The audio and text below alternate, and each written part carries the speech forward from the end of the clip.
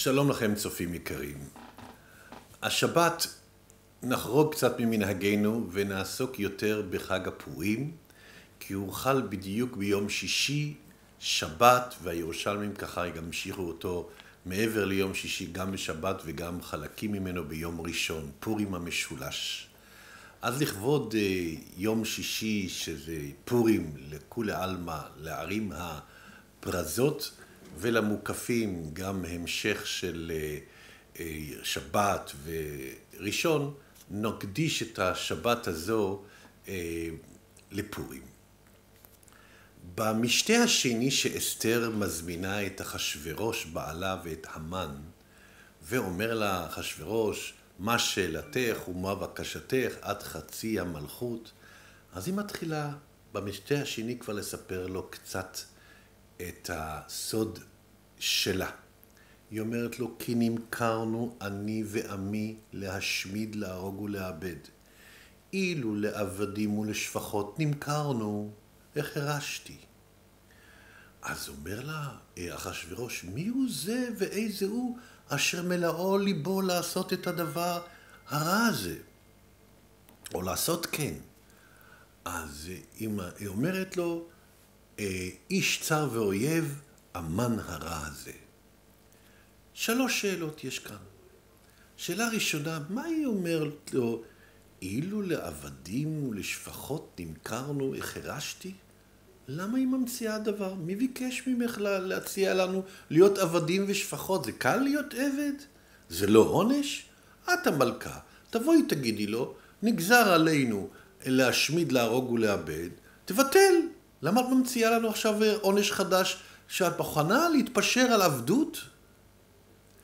וגם היא אומרת, כי נמכרנו להשמיד, להרוג או לאבד.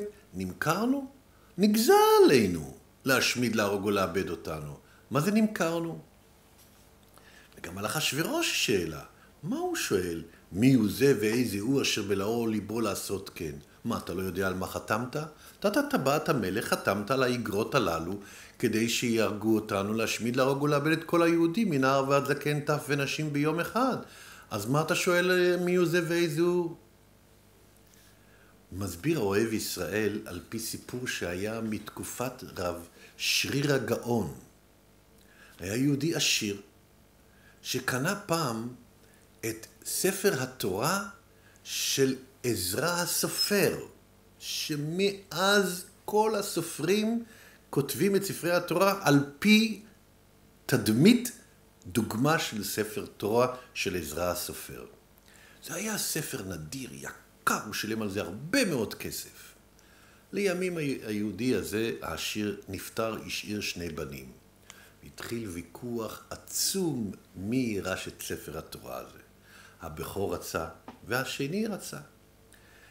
אה, התווכחו והגיעו לכל מיני אה, סיכומים והכל התפוצץ עד שהפילו גורל. והגורל היה, מי שיקבל את ספר התורה ישלם המון כסף לשני כפיצוי. הגורל נפל על הצעיר. זכה בספר התורה, הוא שילם מיליונים עבור ספר התורה, והשני זכה בכסף והוא זכה בספר התורה. לצעיר הזה היה חבר ילדות שהיה איתו בבית ספר בכיתה, אה, בית ספר יסודי, והוא השתמד ונהיה כומר. ומאוד כאב לו שהחבר ילדות שלו היה צריך לשלם כל כך הרבה מיליונים בשביל ספר תורה. הוא אומר, אני אראה ליהודים האלה מה אני אעשה. והוא התחפש ליהודי, אותו כומר, בא בלילה לבית הכנסת, פתח את ארון הקודש, פתח את ספר התורה, ופתח בספר, בפרשת משפטים, וכתוב שם, ועבדתם את השם אלוקיכם.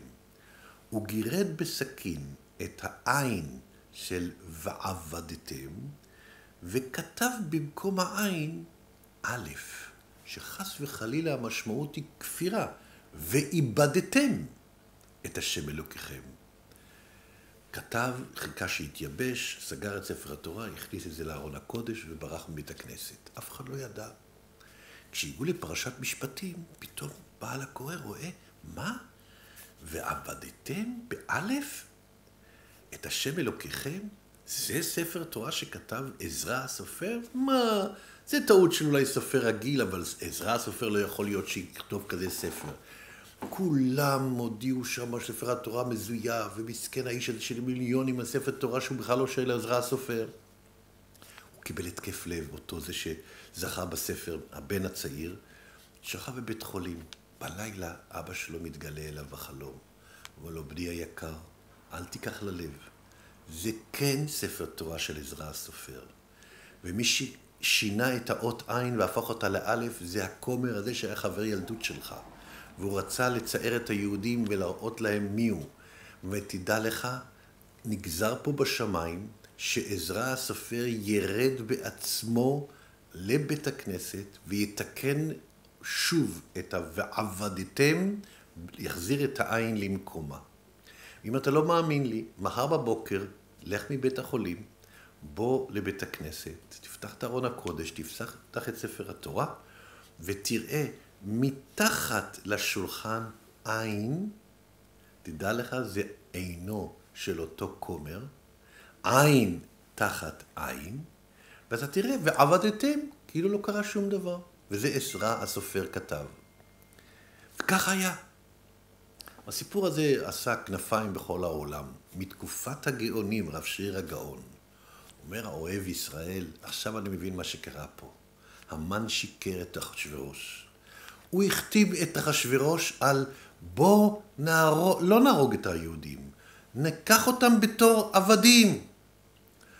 אז הוא אה, אה, החליט איתו בהסכם, ייכתב לעובדם, לעבוד אותם, שיעבדו.